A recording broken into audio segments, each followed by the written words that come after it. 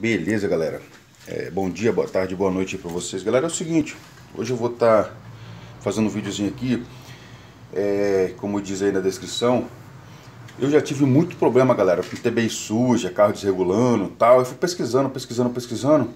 Galera, os gases do motor, os gases do motor, eles são admitidos e são queimados, beleza? Eles saem daqui, né?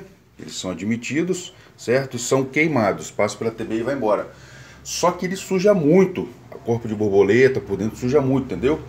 E fora que, que os gases são muito pesados, isso não é, não é bom para o carro, mas no caso o fabricante, o, o, os governadores, sei lá, quem está por trás disso, não interessa, o negócio deles é, é não poluir. Eu sei que muita gente é contra e tal, mas vamos lá galera, é o seguinte, o, que, o vídeo que eu vou fazer aqui hoje é meu carro, ele fica solto, realmente ele fica solto, ele não fica admitindo aqueles gases podre que sai do, do, do, motor, né?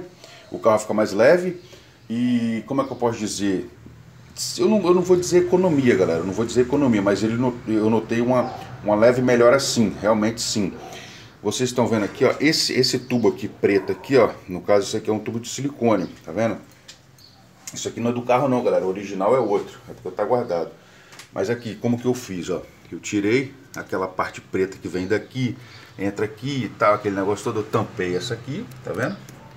Botei aqui, ó, ela passa aqui por trás, vem aqui, beleza? Desce e vai lá por baixo. Eu travei mais ou menos aqui assim, ó, lá por baixo, no protetor de cárter, ele tá por cima do protetor de cárter, beleza?